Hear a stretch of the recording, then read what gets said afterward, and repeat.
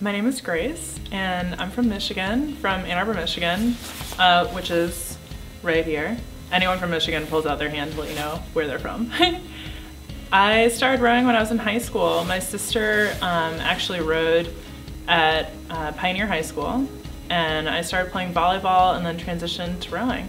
So basketball and volleyball were my former sports, and rowing they kind of like to scoop up the tall people. so I got scooped up and just fell in love with the sport. It's a lot of fun, really great people, and it's so fun to race. I've spoken with uh, my teammates a lot about you know what their process is like making the national team, and everyone's is unique. I was on the junior team in 2007, and now it's 2014, so about seven years later. But I'm working toward the 2016 Olympics, and in 2012 I went to Oklahoma City and trained for a little bit, and had a great experience there. I really learned like how to, you know, take care of myself and because I've always feel like I've been focused on being a good teammate.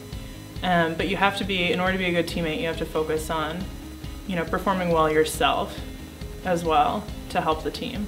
And then the whole level can be risen because it's such a competitive group here uh, with the training center. I think that's one of the really great things about being able to train here is everyone is so great and we really help each other raise the level. So my process of kind of making the national team was like everyone else's, it's unique.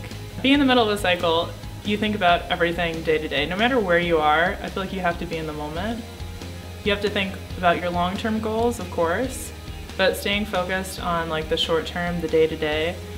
It's an overused rowing thing to be like focus on every stroke, one stroke at a time, but it's so true. One stroke at a time.